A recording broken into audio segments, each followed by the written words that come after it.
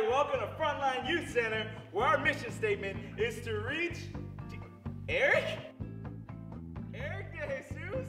Oh man, how you been? Wow, you must have been on a like five-year missions trip. Hey, remember your friend Jesus? You remember him? You remember? Because he remembers you. He's watching you. What's your new profession?